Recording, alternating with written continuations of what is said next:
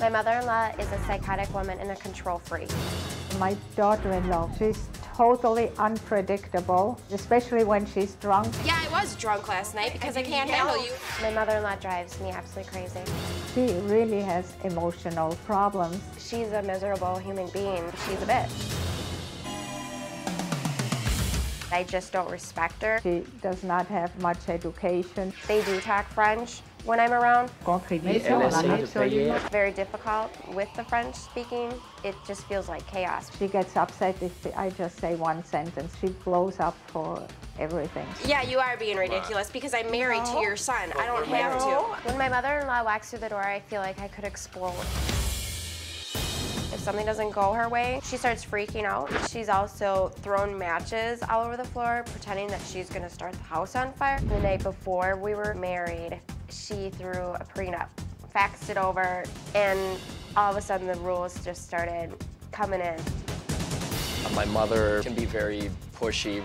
Oh, and here are the cigarettes uh, she smokes. It's none of her business what I do. I'm an adult, I can smoke. If I wanted to sit and criticize everything she did, it'd be too long of a list.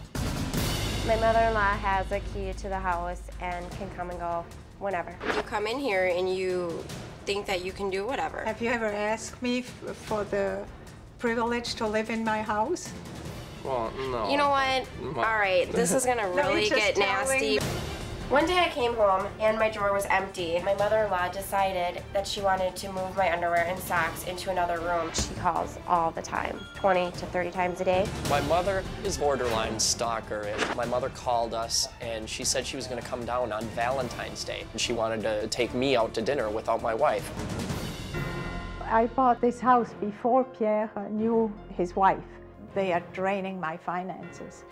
If my mother-in-law thinks that I'm mooching off of her, she definitely is crazy. Amanda married my son because she assumed he had money, She has been a burden. My son jumps for every little wish she expresses. He's like a slave. He behaves like a slave. Pierre's scared to stand up to his mom. She does basically control money and assets. I'm okay with the price I have to pay for, for the luxuries that I have here, thanks to my mother. Bought me a Mercedes. My wife has a much bigger problem accepting and the financial help that my mother gives. It would be difficult to choose if I had to choose between the two.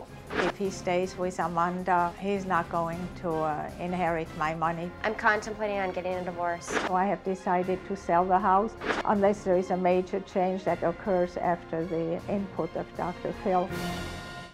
Are you, are you sure you're sitting on the right side?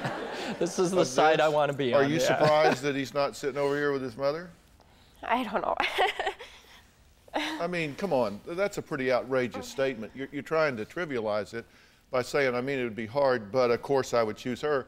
Would you really, and are you choosing your wife in what is clearly a turf war and a power struggle here? Yeah, I'm definitely on my wife's side. It's just very difficult to choose between your mother, you know, and your wife. I mean, I shouldn't have to make the choice. How old are I- you? Uh, 38. Are you, in fact, a meddling mother in law? Are you wanting to get rid of her? Well, I think she's creating a huge problem. She's destroying my son's life, uh, both financially and career-wise, because of uh, the problem she has. She has an alcohol problem, and she completely distorts You what other one. people say. You are delusional when you are really drunk. You don't want her helped. You don't want her fixed. You want No, him no. to divorce I- her. I- you have said, I and I quote, I studied psychology and psychiatry in college, Mm-hmm. And I am confident that she is insane. Well, I don't know if I said insane, but she, Actually, you when said alcoholic, insane, mentally ill, yeah. serious mental Yeah. problems, emotionally disturbed, the weirdest woman I have ever met. I have students who are mentally ill. One is schizophrenic from LSD, and I know. That's what you said, if you want to be Yes, accurate. no, no, I did say that. I compared her to those uh, students. Yes. Do you have a story or a question for me? Click the link in the description and tell me what in the world is going on.